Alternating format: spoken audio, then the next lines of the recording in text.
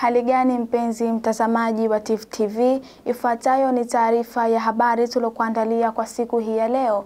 Pia unaweza kutupata kule Facebook kwa jina la Tifu TV Zanzibar pamoja na Instagram Tifu TV Zanzibar na YouTube unaweza kutupata kwa jina la Tifu TV. Mimi ni Sidrat Khamis, karibu. Wananchi wa Kinuni Daznunda wameiomba serikali kuwekea matuta katika barabara hiyo ili kupunguza ajali zinazoweza kutokea. Fadhila Amur ana habari kamili. Ombi hilo limetolewa na wananchi wa Kinuni Dasnunda wakati wakizungumza na waandishi wa habari. Wameiomba serikali kuwaboreshea kwa kuwawekea matuta katika eneo hilo ili kupunguza athari zitakazojitokeza kwa wapita njia na wakazi wa eneo hilo.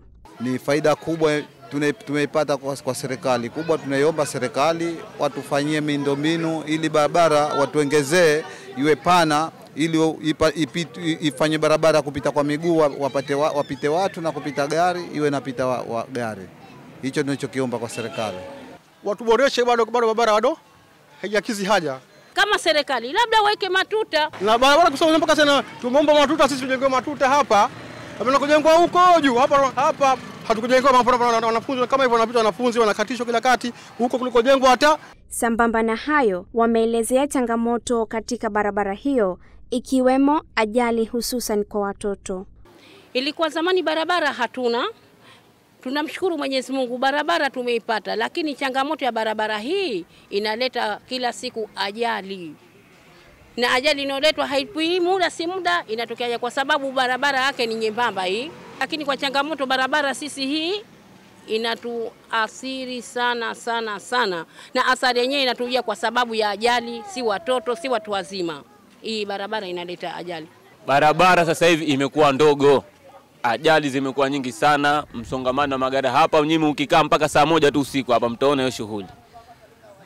Fole na sasa hivi Dar es Salaam hapafai, njia hii ya Kinuni sasa hivi. Hiyo Dar es Salaam haifai kwa fole na njia hii ya Kinuni sasa hivi. Changamoto tunazipata kwa sababu tumevunjiwa majumba, barabara itanuliwe, lakini hata hivyo bado tunasumbuka, tunapata mateso ya barabara. Watoto kama hivyo, watu na magari wanaisha fujo, mapikipiki fujo, kwa hivyo tunapata changamoto, tunaumia kwa sababu ya kabari ya watoto hao. Tumegongwa watoto wetu, na mimi binafsi wanangu wawili wamegongwa wawili, na leo wamegongwa mwingine mmoja hapa.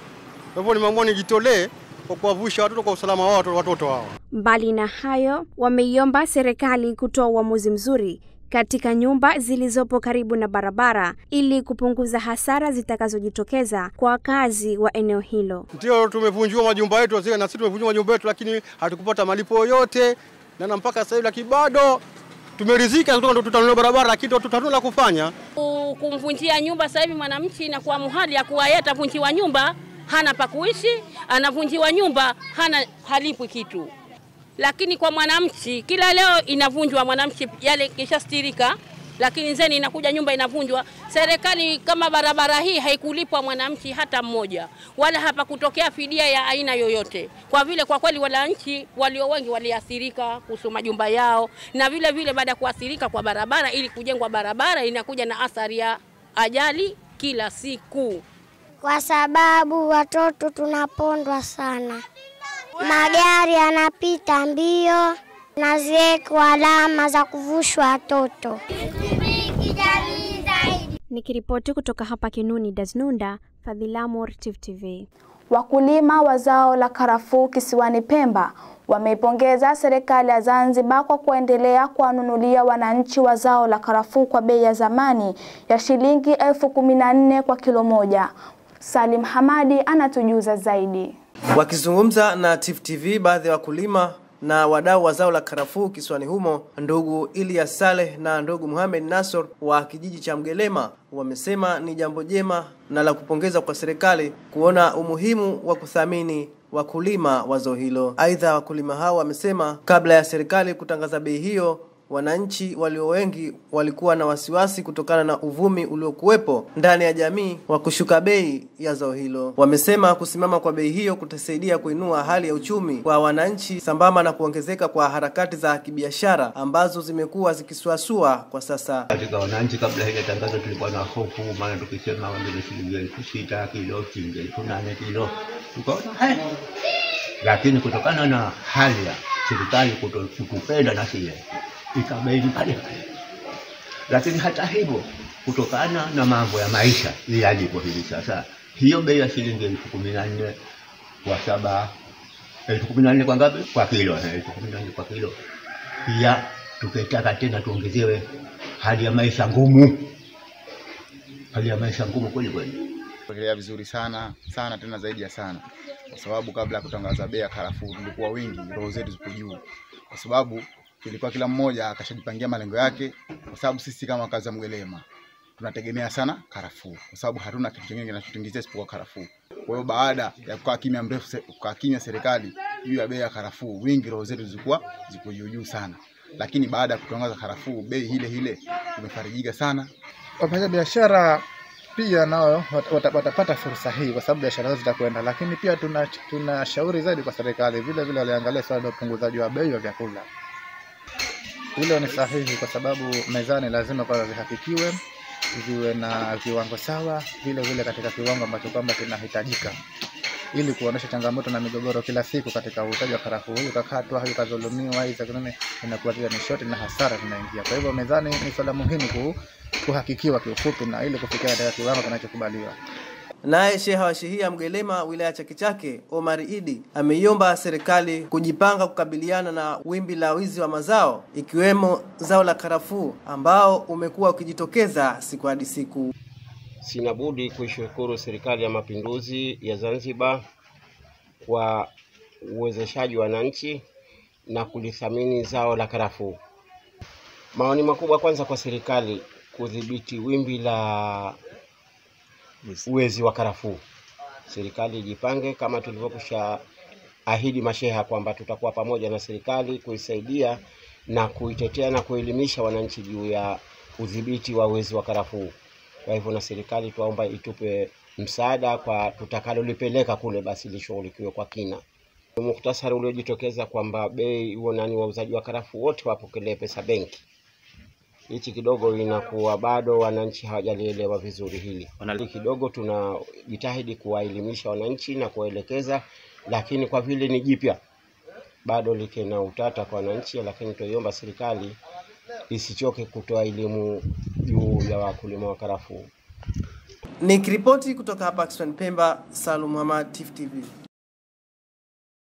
Jamii imetakiwa kutoa taarifa zao kwa hiari kwa kupitia daftari la shehia ili kurahisisha ufanyaji kazi wa daftari hilo. Habari kamili na mwandishi wetu. Ushauri huo umetolewa na kamishina wa tume ya mipango Zanzibar, ndugu Salama Ramadhan Makame alipokuwa shehia ya Mgambo, wilaya ya Kaskazini B, ambapo amesema kuwa kufanya hivyo kwa wanajamii kutasaidia upatikanaji wa taarifa zilizo sahihi za mhusika kwa urahisi zaidi. tunawajibika sisi kama wananchi kutoa taarifa kwa hiari kwa sheha bila ya sheha sasa kutufata, kwa sababu chochote kinachotokea kwenye kaya, wewe manyakaya ndio unayekielewa kuliko sheha. Kwa hiyo kama utakitolea taarifa, itakuwa ni rahisi sana kuweza kufanyiwa kazi, na kwa sababu madaftari yale kama tutayafanyia kazi vizuri ipasavyo, basi tutaokoa gharama ambayo inaichukua serikali kwa ajili ya kufanya sensa ya watu na makazi. Akifafanua baadhi ya vipengele vilivyomo katika daftari la shehia, afisa mipango kutoka Tume ya Mipango Zanzibar, Ibrahim Abdallah Abdallah, amesema kuwa nambari zilizomo katika daftari hilo zinasimama kusaidia kumbukumbu.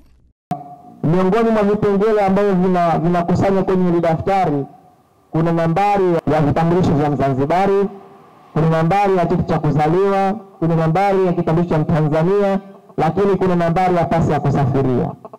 Zile nambari ni muhimu sana kuweza kuwemo katika hili daftari. Kwa sababu gani? Zile zinasimama kama ni kumbukumbu katika hili daftari. Nao baadhi ya wanashehia ya Mgambo walitoa maoni yao kufuatia elimu walioipata juu ya umuhimu wa daftari hilo kwa kupitia tume hiyo. Somo la leo linaweza kuwasaidia sana wananchi wakaliwa, ah, kumbe wanaofuata ujumbe wa shea ni kazi nzuri, na serikali inaamini ni kitendo halali wanachokitaka. Itatusaidia kwa hivyo kuandika buku la kudumu. maana wale waliokuwa hawapo watajulikana wapo na waliokuwa hawapo watajulikana hawa hawapo. na mmejifunza mengi na, na wengine wangu wote nitafunza. Maoni yangu mazuri sana. Nikiripoti katika shehia ya Mgambo, uh, wilaya ya Kaskazini B, Nusra Shaban, Tifu TV. Shukrani sana mwanahabari wetu Nusra Shabani kwa taarifa hiyo. Taarifa hizo ndizo tulizokuwa nazo hapa ndani ya Tifu TV. Kwa taarifa zaidi, mpenzi mtazamaji, usiache kutufuatilia kupitia YouTube chaneli yetu ya Tifu TV na kupitia Facebook pamoja na Instagram Tifu TV Zanzibar. Mimi ni Sidrat Khamis. Mimi ni Fadhila Amur. Usiache kutufuatilia kupitia YouTube channel yetu ya Tifu TV, bila kusahau kule Instagram tunatupatikana kwa Tifu TV Zanzibar na Facebook Tifu TV Zanzibar, ili kujua mambo mengi na matukio mengi yanayotokea katika jamii. Tifu TV tupo kijamii zaidi.